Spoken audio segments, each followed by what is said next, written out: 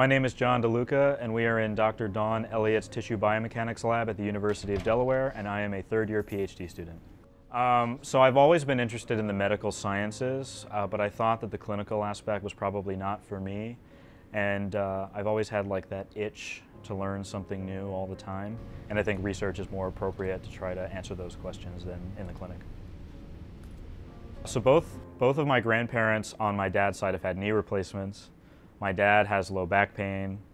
Um, I've seen a lot of people in my own life uh, that have various musculoskeletal problems, um, and I've seen how it's infected them. Um, and so if, if I can help anyone, let alone someone in my family, long term, then that would be a victory for me. We're trying to study the pathology of low back pain. Um, so your spine is made up of hard and soft tissue. And when the soft tissue degenerates, uh, bad things can happen mechanically that can often lead to pain. Um, when I was a freshman in high school, my dad had a brain tumor.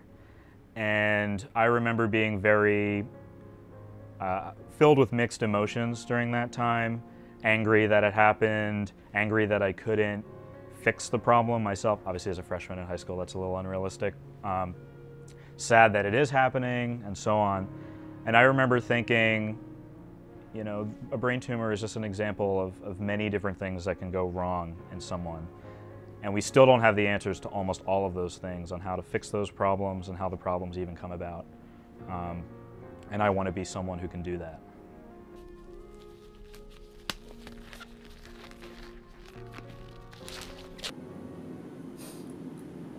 So our lab is working on a bunch of techniques, uh, both computational and experimental, where we can actually study the mechanics of low back pain in the lab and uh, via simulation. And the integration of those two techniques together uh, will be able to help us long-term look at in, internally in actual living people what is happening that is causing pain and causing changes in mechanics. My work focuses on the simulation end of things. You can imagine getting human tissue to study in an experiment or even working on living people is very hard, it's very expensive, um, it's very gross. So um, having a simulation tool that can accurately predict what would happen in someone is a very valuable thing.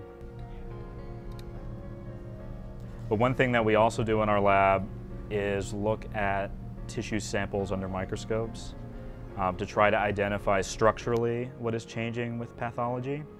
Um, so we do a lot of histology and microscope uh, image analysis to look at structurally what's happening in the damaged or degenerate or painful disc and how that's different from the healthy, normal, good-looking disc.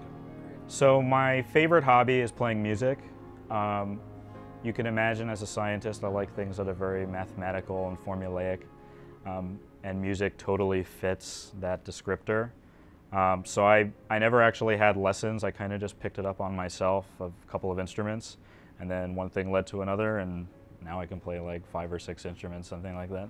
I love waking up every morning and coming in here. There's always a new hurdle, and those can be a little bit frustrating, but once you've crossed the Rubicon and you finally get a result, there's like no greater high in the world of science.